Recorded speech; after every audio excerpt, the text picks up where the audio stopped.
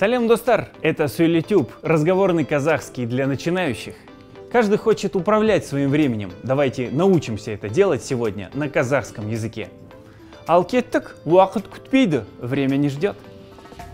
Сразу начнем с ключевого вопроса. Который час? Уақыт қанша болды? Или уақыт неше болды? Уақыт – время, қанша – неше. Сколько болды – стало.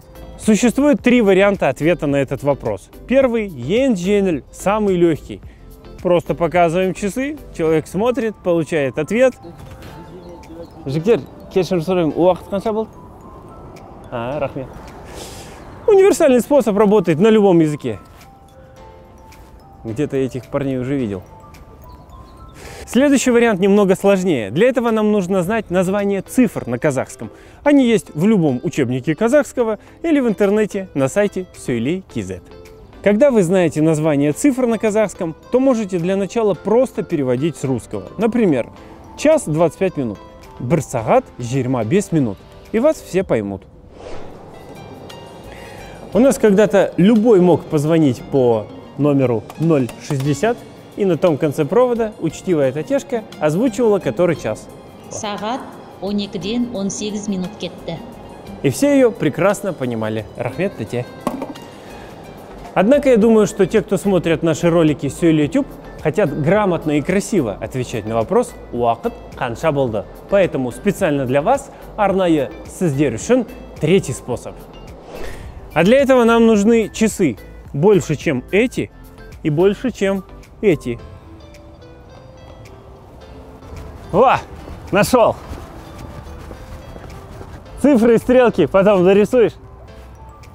Когда на часах ровное время, ровно 12 часов, 8 или 3, то говорим просто.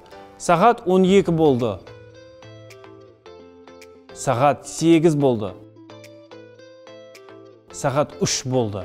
Для усиления точности времени добавляем слово тура – ровно. Сағат тура 5 – ровно 5. Сағат тура 7 – ровно 7. Если на часах у нас половина чего-то, то используем конструкцию, противоположную русскому языку. Например, в русском мы говорим половина одиннадцатого, то есть эта половина принадлежит уже следующему часу. А в казахском наоборот, эта половина принадлежит идущему часу, то есть 10 с половиной. Он жаром. Не пол четвертого, а три с половиной. Уж жаром. Все просто. Разделим наш циферблат на два полушария. Если минутная стрелка с правой стороны, то в нашей фразе обязательно будет слово «кетта», то есть «прошло». Если минутная слева, то обязательно будет слово «калда» – «осталось». Рассмотрим каждую сторону подробнее. Итак, на часах у нас 5 минут 11. Дословно по-казахски мы говорим «от 10 ушло 5 минут». «Оннан» – без минут «кетта». 5 минут 4. От 3 ушло 5 минут. «Уштен» – без минут «кетта». В этой структуре концовка неизменная – кетта. Минуты меняются, но к ним не прибавляется никаких окончаний. А вот к часам прибавляются еще окончания. И эти окончания нам достаточно просто выучить. Часов у нас 12, а окончаний, видов окончаний, всего 4. Брден от одного, екден от двух, уштен от трех, төрттен, бестен, алтыдан, жетіден, сегізден, тоғыздан оннан он бірден он екіден теперь подставляем наши знания в эту конструкцию например 10 минут девятого то есть от 8 ушло 10 минут сегізден он минут кетті и так дальше в том же духе. Но эта конструкция применима только когда минутная стрелка не дошла до 30 минут. А если она уже перевалила за половину, то используем вторую конструкцию. В данном случае мы будем говорить, сколько минут осталось до следующего часа. 12 часов 45 минут. До часу осталось 15 минут. Бірге он без минут қалды. До трех осталось 20 минут. Ушке 20 минут қалды. В этой конструкции принцип такой же. Концовка не меняется, қалды. Потом подставляем количество минут – и у часов меняются окончания. Только окончания здесь уже другие, их мы тоже должны запомнить. их всего три вида.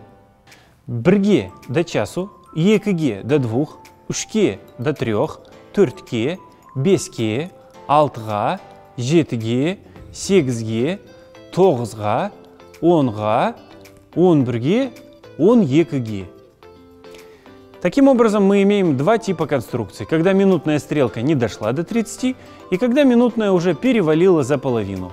Дальше немного практики. 3 часа 20 минут. 20 минут, значит, стрелка минутная еще не дошла до 30. Значит, мы будем говорить, сколько минут ушло от 3. Уштин, жирма минут, кетта. 12 минут пятого. Сколько минут ушло от 4? Тертин, он ека минут, кетта без 25,8. Но тут мы можем округлить и сказать просто половина восьмого или в казахском жито жаром 7.30. Если нам нужно более точно, то говорим, что до 8 осталось 25 минут. Сегізге 25 минут қалды. Или без 5 10. До 10 осталось 5 минут. Онға 5 минут қалды.